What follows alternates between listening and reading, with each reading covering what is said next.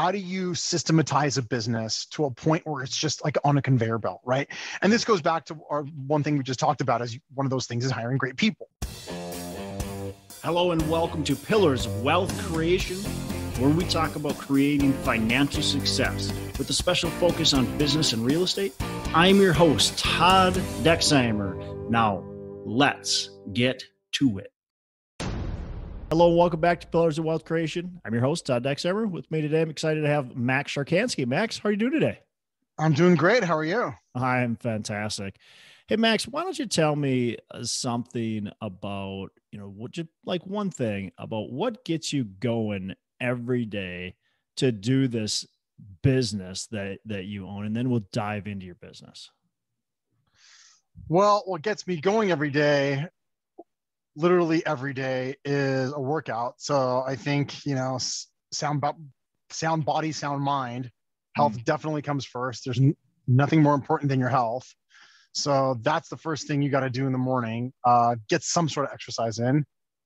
And then in terms of the business, I would say growth. You know, it's just there's nothing more exciting than more growth. And we started out back in 0506 with just a few built well we started out with a 12 unit building then a 34 unit building and then we bought a 40 and an 80 we sold a couple flipped them and like everybody else you start out super small in your own backyard and now we're in seven states working on an eighth state. Uh, we've got a little under 5000 units in portfolio with another 2500 in contract so we'll be at 7500 units in the next few months.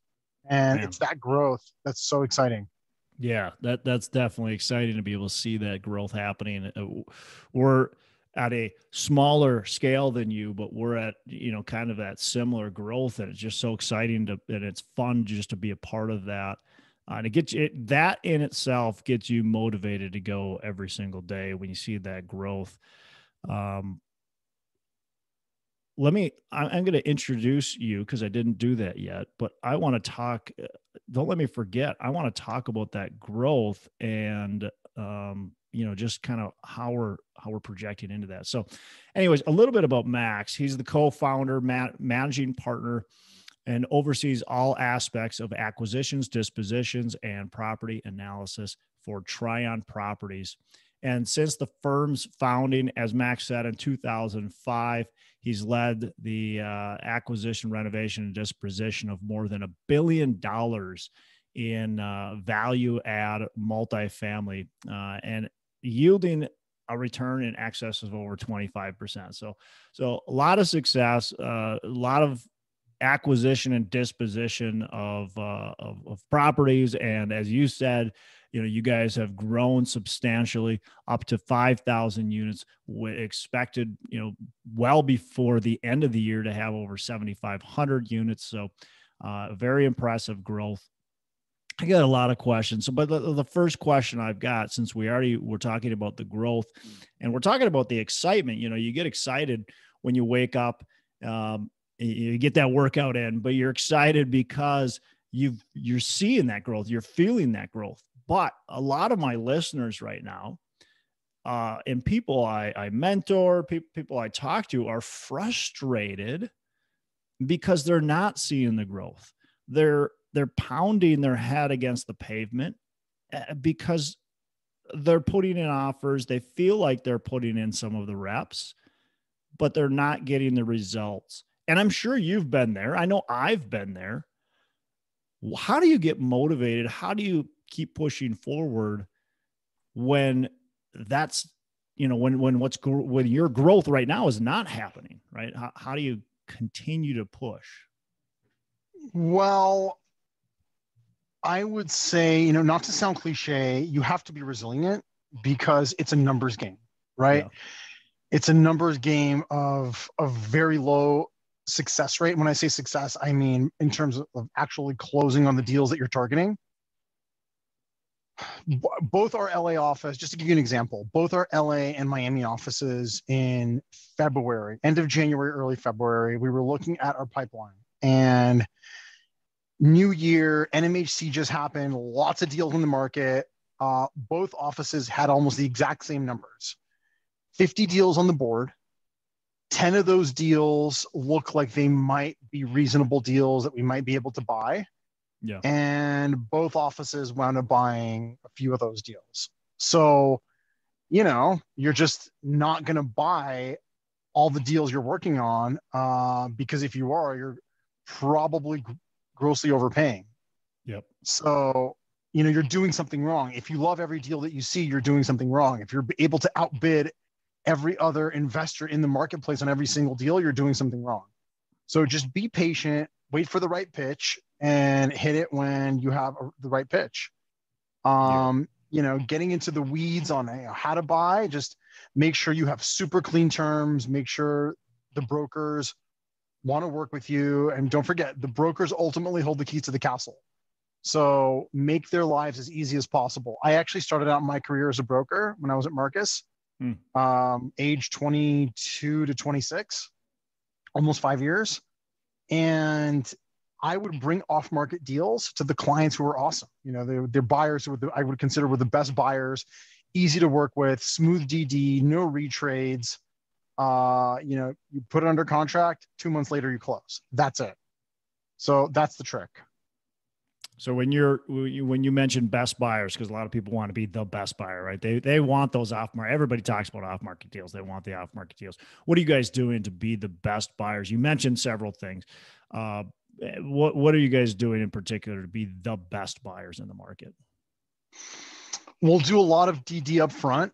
Um, we'll get our crews out there. We're looking through some records. We're getting as comfortable with the asset as possible so that we can put up some hard money at PSA um, in a crazy market like this, you almost have to.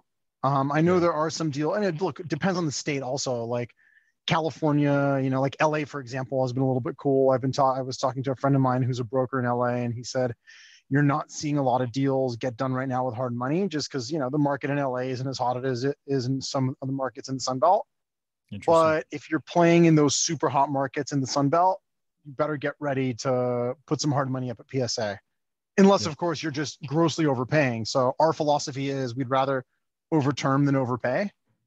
Hmm. So you know we would rather do a lot of the work on the front end and be able to put some hard money up.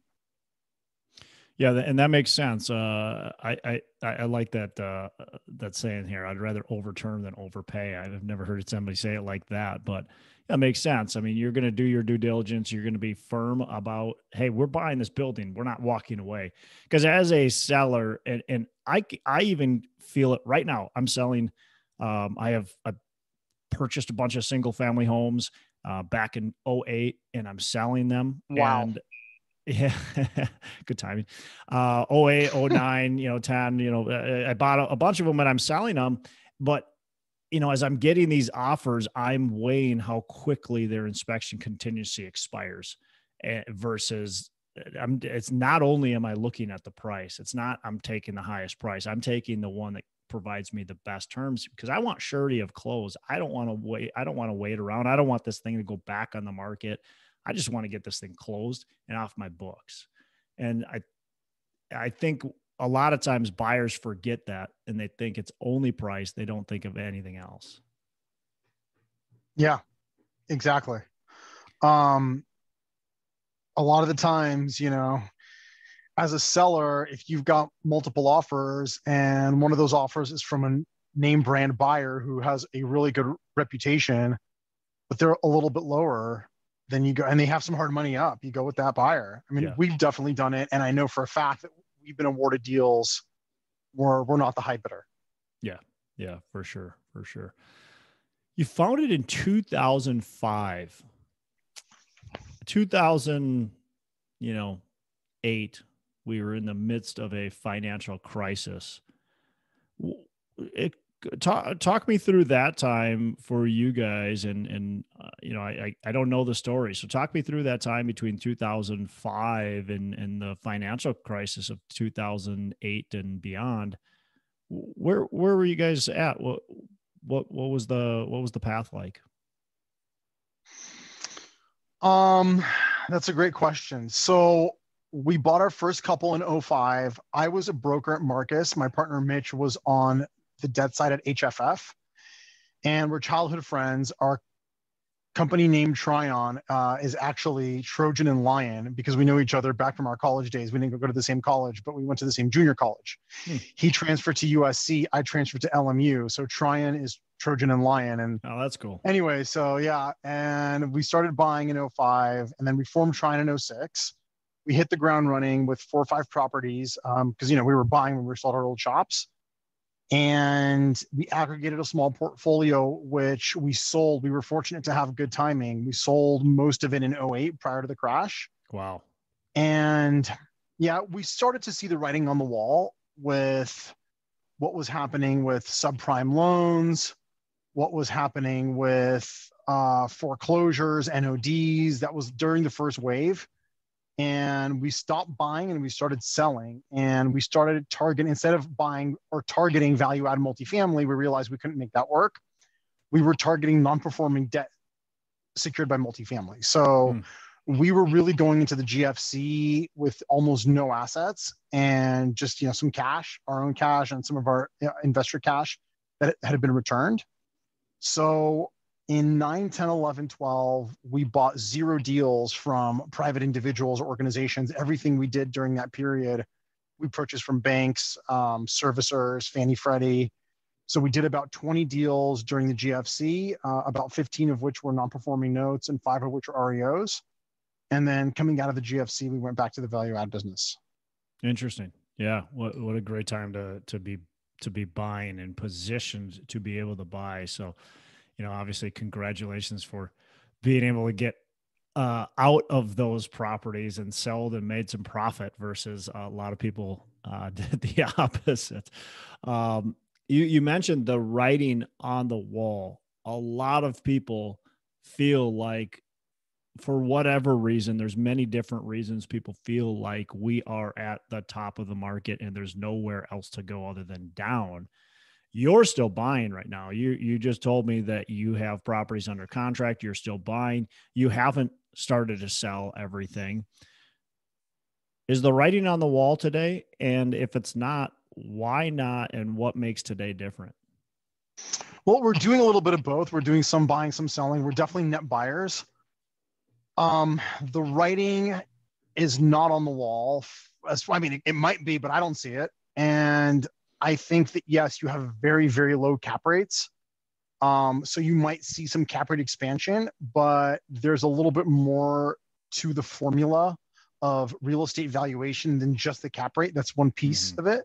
Right. Uh, the cap rate you factor into the NOI. So, you know, as you and I were discussing prior to kicking off the podcast, Tampa and some of these other markets that are have 25% rent growth, 10% rent growth, 8% rent growth, if rents continue to grow at half of these rates and cap rates expand, you're still going to see ultimate increase in the valuation of the real estate. So right now, from our perspective, what you're going to be seeing over the next couple of years is a foot race between rent growth and interest rates, uh, which will ultimately affect cap rates, we think, and it will have an expansion. So if cap rates go from high threes, low fours to high fours, then that's fine. We underwrite that anyways. Um, we didn't underwrite four cap exits, four and a quarter cap exits.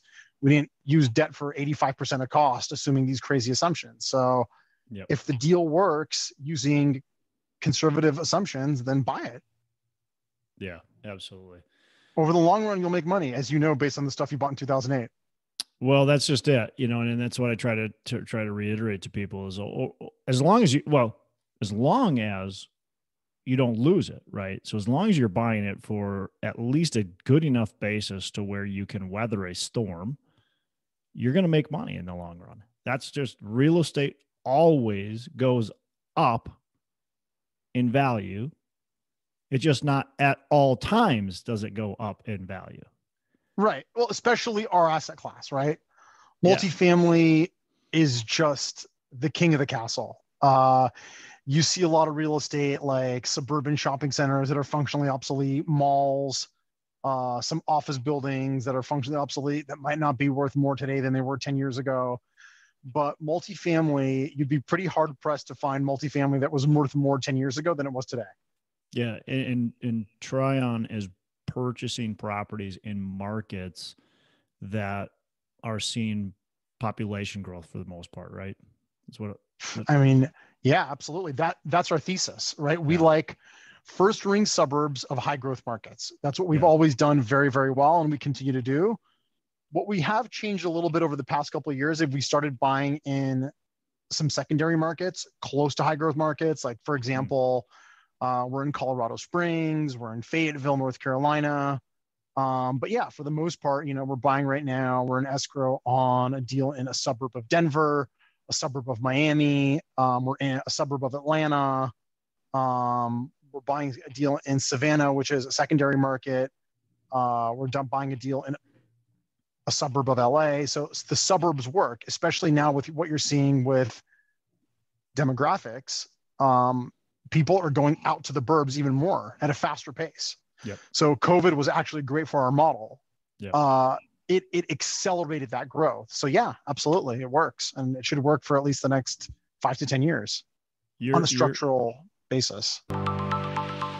Hey, the North Star Real Estate Conference is back. It's May 2nd and 3rd, and this year it's a bit different. We're going to be hammering in on multifamily real estate, and we're going to show you asset management, value add strategies, raising millions of dollars through syndication, and how to find those hidden gems in today's market that are just so tough to find. And one of the biggest things I'm excited to bring you is industry experts that you're going to be able to put on your team so you can hit the ground running day one. So join us. May 2nd and 3rd at the North Star Real Estate Conference. Look forward to seeing you there. You're in a market or markets that have some rent control. Are you directly affected by rent control on some of your properties? Well, we're in those markets, right? So we have to play by those rules. Yep. Um, and go ahead. Well, I just wanted, I just want to know because I've—I—I don't know if I've ever actually talked to somebody specifically that that has been in a rent control market at least for a long period of time. So I just wanted to kind of get your and not necessarily feelings on it, uh, but get just as far as a how is that working? Uh, what does it look like? Because um, I think a lot of people are interested in that because rent control is a big buzzword really around the country. I mean, it's even being it's being pushed in Tampa. It's being pushed. There's a lot of places being pushed now. A lot of places it probably has no legs to go anywhere, but I think it's being pushed in many, many, many markets. Okay, there's a lot to unpack there. So, you know, what I think about it is the same thing that 99% of the people in our industry think about it. Yeah. That it's stupid. It doesn't work. It's never worked. We have 100 years of data showing it doesn't work. People like it based on an emotion, uh, based on a soundbite. It sounds good. Rent control. You're controlling rents. Well, no, because there are a lot of unintended consequences that have proven out 100% of the time. Supply goes down, people don't move as much, you have a lot less affordable units on the market. When I say affordable, I mean market rate affordable, as in like market rate older units, 25 year old plus units, just all those things that come with rent control. Um, there's a reason that Texas and Florida, of, of the big four states, you know, Texas, Florida, California, and New York, there's a reason that California and New York have significantly higher rents than at Texas and Florida, and people spend a significantly higher portion of their income. It's that's main the main reason why. Well, that's that's one of the couple reasons why. I would say also because of um, land use regulations. It's much harder to build, so it's much harder to create supply. But you know, you add all those regulations, and it ultimately hurts the consumer. Yeah, it's still yeah. a regulation that curbs building, right? It it curbs creation of new units, which then forces the other units to to be more expensive, which causes rent affordability issues. Correct. Correct. Yeah. It also uh, causes some people to stay in their units for 25 plus years, so that unit doesn't open up, right? So you're you know, as a general rule in rent control markets, 10 to 15% of those people are what you would call lifers or long term, you know, they're in there 10 plus years. So you're effectively removing those units from the market. So you've got all these, mm. you know, if, you know, LA, let's say, has a million units, then 100 to 150,000 of those rent control units aren't being made available on an annual basis because pe- they're not turning over. So it's just it's compounding. It's yeah. it's compounding problems that come with rent control, and again, it doesn't work. So, uh, in terms of our operations, we don't really operate much in the strict rent control markets. Like we're not in LA anymore. We're not in San Francisco. We're not in New York. We're in California. But in California, we're only in markets that are subject to the state rent control, which is a little bit more lax, uh, not the city rent controls, which are much more strict. Got it. So in California, that's called AB 1482. It's 5% plus CPI. So, you know, you're operating right now eight, eight to 10% annual bumps. We can live within those parameters. We can operate within those parameters uh, without having to knock on doors and try to buy people out of their units. Um, you know, you give people eight to 10% annual bumps, three years, you're up. You know, if that person does not move 25% plus, Yep. that works for us. Yep. Are you essentially forcing yourself to give them those rent bumps because you kind of have to keep up with it? Because if you don't do it one year, if you give a zero bump one year, you can't do a 16% rent bump the next year. You can only do whatever 8% or whatever it is. Right. So is it, does it kind of force you to give aggressive rent bumps just to stay, just to make sure you're staying with the market? Um, well, aggressive. I mean, I wouldn't call them aggressive, but I would say well, it's okay. but- maximum allowed. So yeah, if someone's rent is 25% below market and we're giving them 8% bump, yeah, that's fine. Yeah, we're going to give a maximum bump for sure. If Yeah. if somebody is significantly below market, we're going to give them maximum bump. So if they're, but if they're, let, let's say I rent a, an apartment from you um, in California, and I'm I'm Mhm. renting at, you know, fifteen hundred dollars a month. I don't know if that's Okay, what it is, sure. but just a number. At next year, am I getting a likely? Am I getting an eight percent rent bump just so I keep up with the market, or does it de- still depend on what's going on in the market? If you're paying me 1500 bucks a month Mhm. and market that's rent market. is two Oh, no, no, no. Okay. So if you're paying me 1500 if you're paying us 1500 bucks a month, I signed a And- brand new lease, right? I signed a brand new lease. I signed it in 2021, brand new. You charged me whatever you could charge me at that time. In 2022, when my lease is expiring and I want to sign a second year, are you likely in in all cases bumping me at that level, or does it depend on what's going on with the economy? It depends on what's going on with the economy. So will. what will probably so if it's a if you're a brand new tenant at market and you're up for your renewal, then we'll probably just give you a bump based on where market is and maybe even 15 20 bucks below that level. So if the market went up 4% and you're paying me 1500 bucks, that's 60 bucks. We might raise you like 45 bucks so you're not incentivized to leave. Yep. If I'm inheriting you as a tenant and you're paying 1500 bucks, but market is 2K, You're we're giving you the maximum. allowable increase. Yep. Yep. That makes sense. Cool. All right. We'll get off the uh the rent control uh conversation. Because it just puts everyone in a bad mood. yeah, right. I'm now I'm getting crabbier as we're speaking.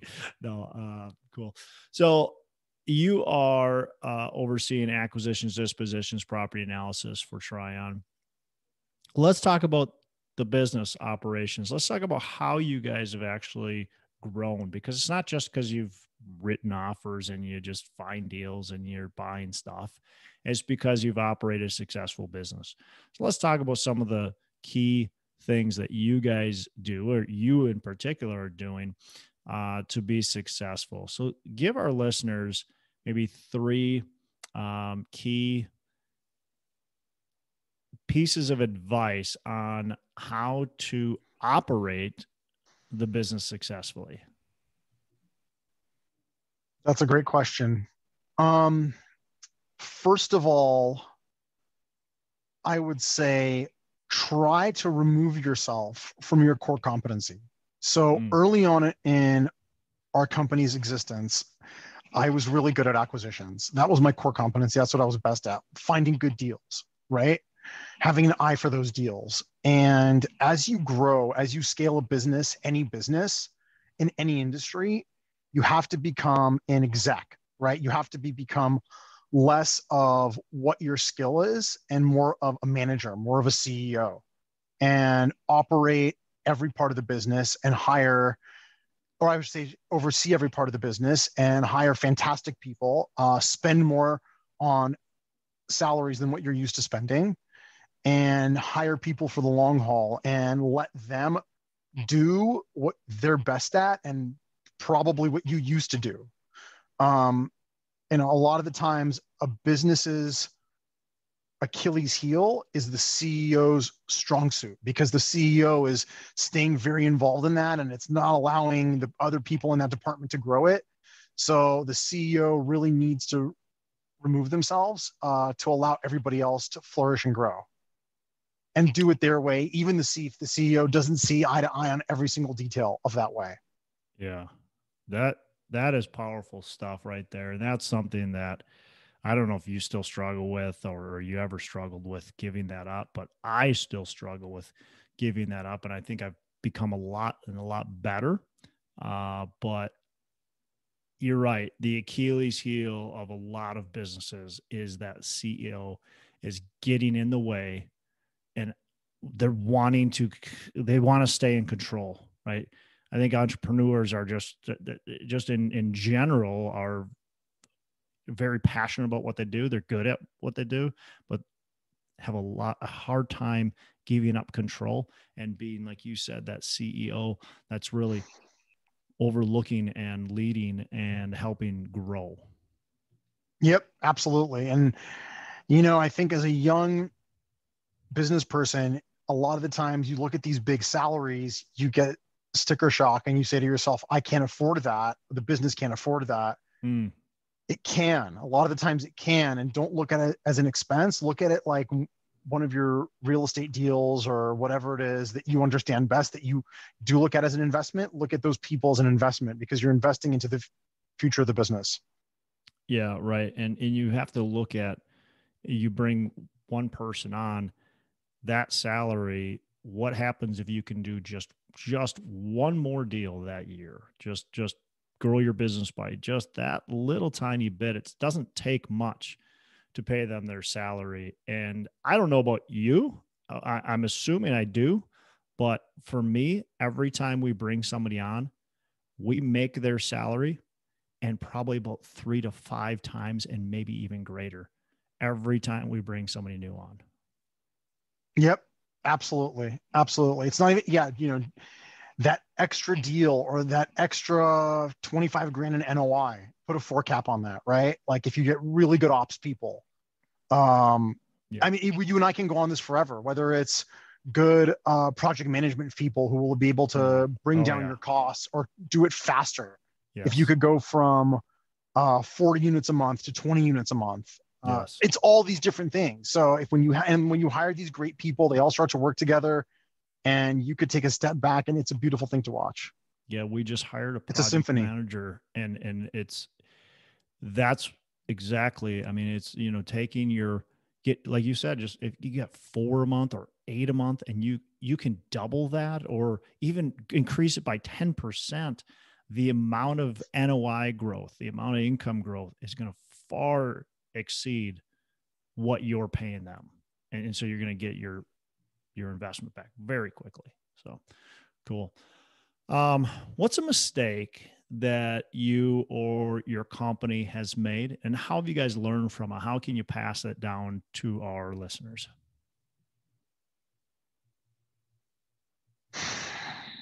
Um, you haven't made any, have you? I have. Oh, okay. I have. And it was that long silence. Do, I thought, man, Max is just that good. He just hasn't made a mistake yet. I want to give you a really good answer. I want to pick yeah. the best mistake. I want to pick the most educational mistake to your listeners. How does that sound? Yeah, that sounds good. I would I, say, you know, a lot of one of the buzzwords you, you hear in business is, and one of the buzzwords that you hear Warren Buffett talk about a lot is conveyor belt, right? Like, how do you systematize a business to a point where it's just like on a conveyor belt, right? And this goes back to our one thing we just talked about is one of those things is hiring great people, right? And each one is doing their thing so well, and it's just it becomes a conveyor belt business, right? One of the mistakes I think that we made is getting away from our niche and our conveyor belt.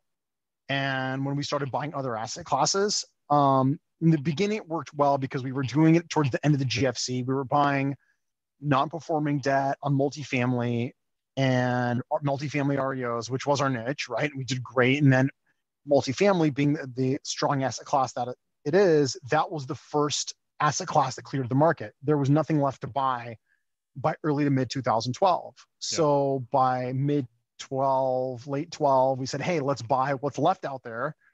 And we know retail very well, right? So we started buying retail. We know just we just knew it from like working on it as brokers and stuff like that. So we bought retail and we did like a little like two year stint with it. And we did great on some deals, so so on some other deals. And we got our asses handed to us on a deal a few years ago and we lost so much money on it because it wasn't our conveyor belt business, right? It wasn't. Mm-hmm. multifamily, which we do so well. Multifamily, I mean, if you look at our peer group, we outperform our peer group by probably 500 to a thousand basis points on an annual basis in, in overall returns because we do it so well. Retail, you know, we bought this property that we lost money on. We bought this weird asset on a weird corner with horrible access and I assumed because you had it was in, in Malibu, California, and I assumed because we had such high incomes, we'd be over, we'd be able to overcome those few issues with the asset. And one of the main issues with asset, which the asset which I didn't realize at the time, is with retail and office, density is very important. And Malibu is effectively high income rural. It's like the Hamptons, right? You've got water on one side and mountains on the other. So yes, even though you're one mile radius average household income is 200,000 plus, which is higher than Beverly Hills, there are no people. So it's high income rural. And we had a hard time with leasing, a hard time getting rents up. And ultimately, like I said, we just got our behinds handed to us on a silver platter and we got away from what we know best. And that's why we lost money on it. Yeah. Look, I mean, you can, you can, you will make mistakes. You can make mistakes. You can have, regrets it's fine to do that but you've got to learn from it and so you know learn from max's mistakes that he's made and stay on your conveyor belt right don't go all over the place and try to do so many things it's so easy as an entrepreneur to get caught up in what other people are doing or what might be another opportunity and you lose sight of what you're really good at and, and it typically is going to slow your growth. It's not going to work out for the positive. My guess is that you guys, if you had stuck solely to multifamily and stayed on your conveyor belt, would have grown more during that period of time than than what you did. It probably took uh, your attention away from the multifamily a little bit, um, and and of course stunted your growth. Of course, because yeah our platform, our organization wasn't built for these few weird assets that we had in our portfolio, right? So we're in-house operations, right? We do pro- property management in-house, project management in-house. So for these commercial assets, we had to hire outside management. Okay, they're calling me. Tenants were calling me. So I can't run the business. Yeah.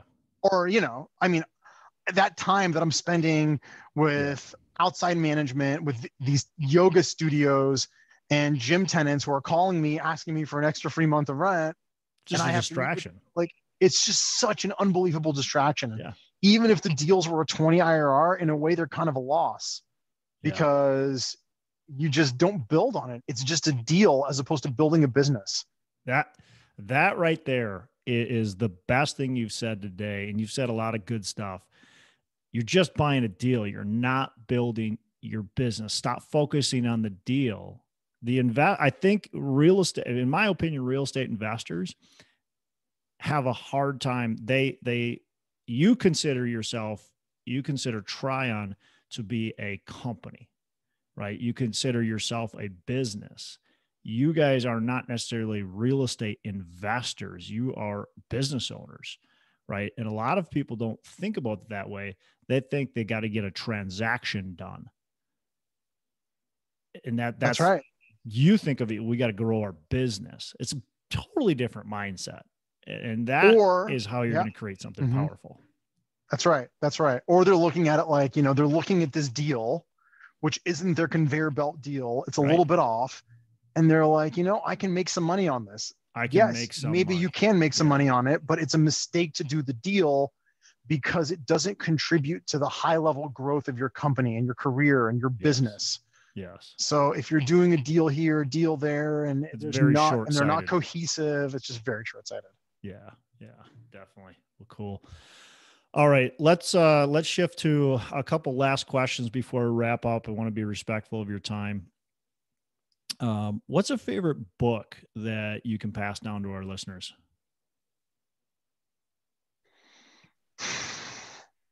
A favorite book. Business, Um, real estate, maybe just pleasure. I don't know. Favorite book.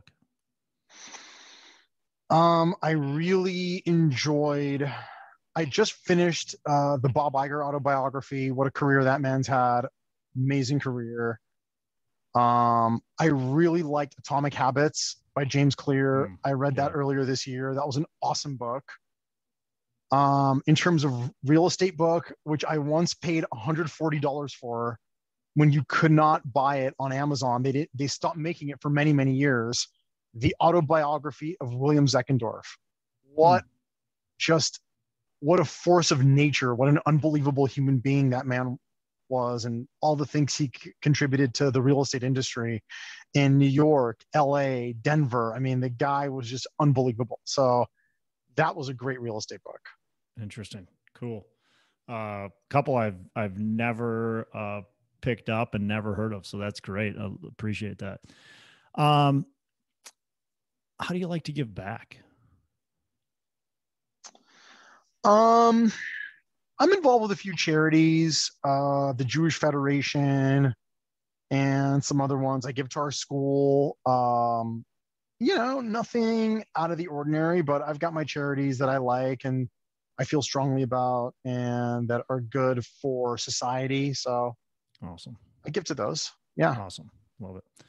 All right. So, last question before we wrap up, Max. What are your three pillars of wealth creation?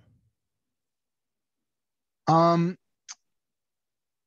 I would say one of them is, you know, what we just discussed is think about your career, wh- whether you work for a company or you own a company, think about your career long term, think big. Don't think about just like making a buck on this deal or a buck on that deal, and think about building the business or building your career as an individual or building your career within that organization and how to help grow that organization along with your career and just you know think big always think big picture. And if something feels off, if your gut's telling you that that's not the best thing to do for yourself long term, then you're probably right.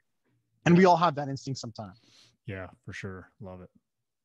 So that's definitely one of them. Um, I think you hear a lot right now in education and education being over overpriced. I'm, I'm talking about college education, post high school, and it needs to be disrupted. And some of those things, you know, on the fringes m- may be true. Like, you know, maybe you don't go to a private school and spend 300 grand for a degree in French lit. Um, but you do do it for a degree in finance or uh, CompuSci because you can make a very nice career out of that. So I think education is very, very important, is my point. Yeah. And don't listen to all that buzz you might hear on a podcast or somewhere in an article. And you have to get an education. I mean, some of these people like Mark Zuckerberg or Bill Gates, I mean, these people, their IQ is so many planets higher than the rest of us, um, than the average person thinking about an education. And, you know, if Mark Zuckerberg could do it as a college dropout, maybe I can too. Well, don't forget Mark Zuckerberg and Bill Gates dropped out from Harvard.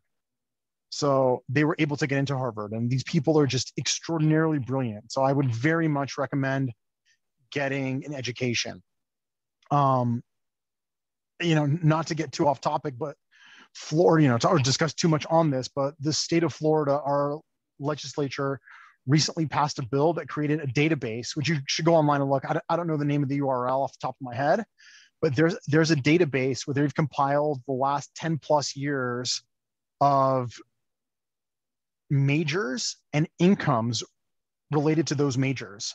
So you can look up any state school in Florida, Florida State, University of Florida, FIU, and you could, so you click in the university, then you click in the major and it'll show you what your average incomes are. And I think that's just an amazing tool. And every state should have a tool like that so that people have full transparency on what it is that they're going to major in, what it is they're spending their money on. They're leveraging their future yeah. with those student loans. They should know what kind of income they're making. Yeah. So you should check that out. You know, you can actually, you probably, even if you're out of state in any state, you could probably use that as a barometer to figure out what kind of income you're, you're going to be making if you go to a basic state school. That's cool.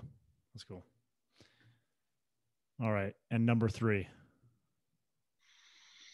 Number three, um, I would say you got to take some risks. Yeah. And that risk doesn't necessarily mean leave your company or you have to be an entrepreneur because entrepreneurship is not for everyone. Yep. Um, you have to be able to stomach that level of risk and have that risk tolerance. And most people just don't have it. You just don't have the risk tolerance to leave that job and go and do this on your own and spend, you know, eight to 20 months with no income and live off your savings. That takes a tremendous amount of intestinal fortitude and risk tolerance. Uh, but you could take some risks within your organization, take some risks with your decision making take some risks with where you live right? Like just because you're from a certain town and you've been comfortable in that town your entire life well maybe there's more opportunity elsewhere. Maybe you should get a job in a more growing town and uh, you go somewhere with more opportunity growth more or more career growth more opportunity. So you got to take some risks. Love it. Love it Max, uh, really appreciate all the insight you've given us today. I mean, lots of great stuff. You know, be on your conveyor belt, be be the CEO. You know, obviously talking about the Achilles heel is is getting in, really getting in your own way. Try, you know, be your your own strength is, is kind of your Achilles heel as a CEO, and um, man, just t- tons of great information. So really appreciate you joining us on the show how can our listeners get in touch with you and learn more about what you and Trion have going on? Yeah, absolutely. Um, you can email me at max at trionproperties.com. And if you'd like to invest, I can put you in touch with the correct folks on our IR team. Uh, if you'd like to go to the website, www.trionproperties.com, T R I O N, properties plural.com. Awesome. Max, again, really appreciate it. You have a fantastic rest of the day. Thanks, Todd. You too. Really appreciate you having me on. Hey, thanks so much for listening. I appreciate you being a loyal listener. Say, I would love to have you go on to our Facebook page and subscribe. Uh, give us a thumbs up. Go on to iTunes or wherever you listen and give us a rating and review. Don't forget to subscribe. Your rating review just helps us push this out to more and more people and continue to grow our audience and hopefully positively affect a ton of people out there that really need this and, and want this. So, uh, the other thing I've got for you is a free ebook on my website. So go on to venturedproperties.com, venturedproperties.com, and download our free ebook uh, on real estate and on syndication. And I've got some data points in there, some really good stuff for you. So I'd love to have you take a look at that. It's free. I'm not expecting anything from it. Uh, and, and, also, look, if you want some help in multifamily, want some help learning, growing, getting your business off the ground, I would love to talk to you about what it would look like uh, to work with me potentially and see if that's a good fit. So you can go to coachwithdex.com and check that out, and uh, we can definitely have a, uh, a call. Thanks a lot for listening. You make it a fantastic rest of the day. I'll catch you on the next episode.